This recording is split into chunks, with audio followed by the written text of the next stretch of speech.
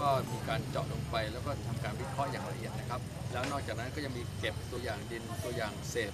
ซากวัชพืชหรือพืชที่พบนะครับ เพื่อไปทำการวิเคราะห์ แล้วก็ผลการวิเคราะห์คาดว่าจะใช้เวลาไม่เกิน 2 สัปดาห์นะครับหนึ่งถึงสองสัปดาห์ก็จะทราบผลการวิเคราะห์ครับเชิญท่านหนูอัดนะครับ ซึ่งเคยเป็นเจ้าหน้าที่อุทยานที่นี่ ซึ่งเป็น เคยมาอยู่ที่นี่เมื่อปี 2524 นะครับ แล้วก็เคยถูกผู้มีอิทธิพลบนเกาะแห่งนี้ยิงได้รับบาดเจ็บสาหัสนะครับ แล้วก็ท่านพลตำรวจตรีพลตำรวจเอกอัตพลแช่มสุวรรณขณะนั้นเป็นพันตำรวจเอกนะครับ